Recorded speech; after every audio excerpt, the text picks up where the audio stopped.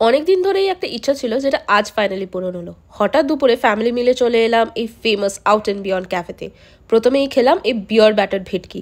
ভেটকিটা বেশ ভালো ছিল, একদম ফ্রেশ পাশে যে উকি মারছিল না, ওটা আমার সিস্টার ইন ল এরপর ওথ্রি খেলো গার্লিক বাটার প্রন আমি তো প্রন খাই না। ও বলল, ভালোই লেগেছে। আমি নিজের জন্য অর্ডার করেছিলাম grilled fish in lemon dill sauce of যতটা বড় নাম, ততটা ভালো খেতে। অসাধারণ ছিল।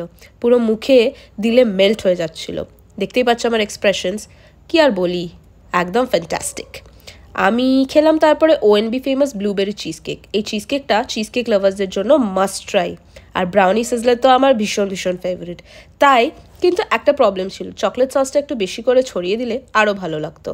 ফাইনালি যেটার অপেক্ষায় ছিলাম, বেশ কিছু বছর ধরে অর্পিতা দিয়া সোয়ার্দার সাথে দেখা হয়ে গেল। বেশ lucky R on that note bye guys